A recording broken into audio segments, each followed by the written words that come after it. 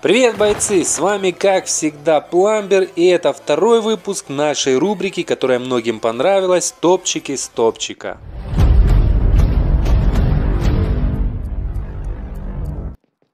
Короче, сегодня движ такой. Многие мне писали, чтобы я сделал обзор на АК-117. Как по мне, о нем многие говорят, многие знают и считают его имбовой пушкой, но не знают, чем его заменить. Сегодня я вам расскажу не только о 117, а подберу ему отличную замену. Друзья, я давно играл на нем и да, действительно, для режима королевской битвы это оружие имбовое. Для рейтингового сетевого режима есть оружие получше. Но сегодня давайте поговорим о режиме КБ. Многим из вас, как и мне, уже поднадоел 117. И так как он обладает лучшей скорострельностью, тяжело найти ему замену. Вот для этого здесь я, чтобы рассказать вам, чем можно еще поиграть и нагибать и выносить команды. В данном выпуске обзор у нас, я считаю, на лучшую замену АК-117 Type 25. Это шикарное и давно всем и забытое оружие, о котором просто-напросто перестали говорить. Да, друзья, возможно вы сейчас подумали, нашел с чем сравнивать Type 25 отстой, но в данной рубрике я выбираю оружие со схожими характеристиками и пытаюсь донести вам, что есть лучшее и эффективнее оружие, с которыми можно ярче проводить время в игре. Давайте разберемся, почему нам нравится АК-117. У него приятная внешность, он обладает лучшей скорострельностью среди штурмовых винтовок, довольно-таки неплохой наносит урон. Что из этого у нас есть в тайпе? По поводу внешности он, конечно, не впечатляет. Но бывают скины на него, с которыми играть довольно неплохо. Тайп обладает такой же скорострельностью, как и АК-117 и наносит еще больший урон. То есть мы видим, что есть две штурмовые винтовки, которых высокий темп стрельбы среди всех остальных, которые есть в игре. Да плюс Type 25 урона наносит больше АК, и это уже очень серьезная заявка. Давайте их еще раз сравним по характеристикам, которые нам предлагают разработчики. Что мы видим? Подвижности и темп стрельбы они равны. В точности лучше АК. Это, да, немаловажно как для меня, так и для начинающих. Но в точности я особо разницы не заметил в королевской битве. А вот в рейтинговом сетевом режиме мне немного не хватило точности в тайпе. Но топ-1 я легко занимал. Урон наносит больше Type 25, ну а в дистанции он отстает. Но тут же опять, как любите вы играть. Если ближний бой, дистанция вам не нужна. Я люблю рашить, и на показатель дистанции даже не смотрю. Разброс у них одинаковый. Если М4 обладает точностью, то и видно было в сравнении, что она действительно точно бьет. Здесь же я вижу одинаковые характеристики. Подведя итоги, чтобы вам было понятнее, если игроку с тайпом встать на равных условиях с игроком с АК-117, то тайп в этом сражении победит и вынесет первым противника за счет скорострельности и высоким показателям урона. Так что, друзья, советую вам поиграть и кайфануть от этого оружия, как это делаю я. Советую ставить на него такой вот комплект и использовать класс шутника, защитника и ниндзя для скрытности и сражений в ближнем бою. О, будет на что вздрачнуть.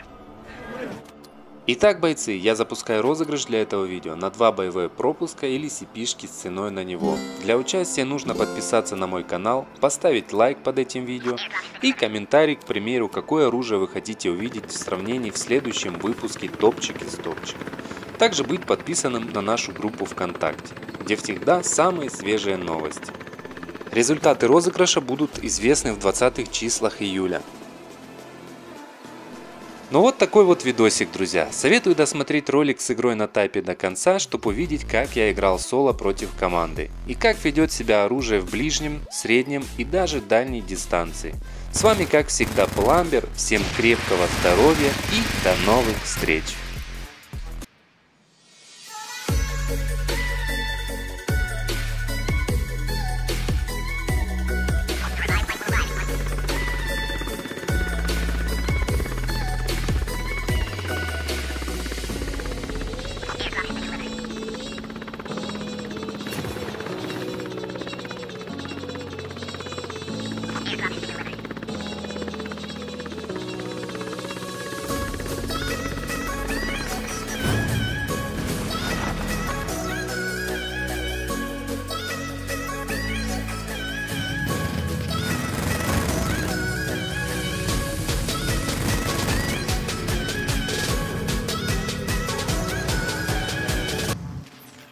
А это за маму. А это за папу. А это за малыша Джонни. А это за то, что ты противный.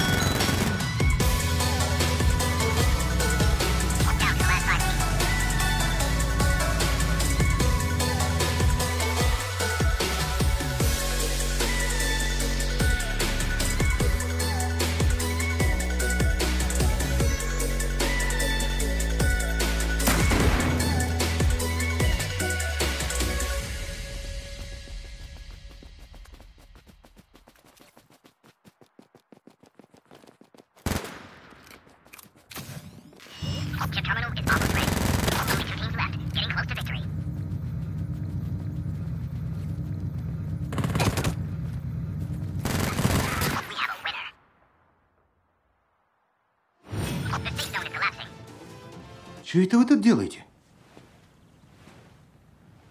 Конец. Кино-то уже кончилось.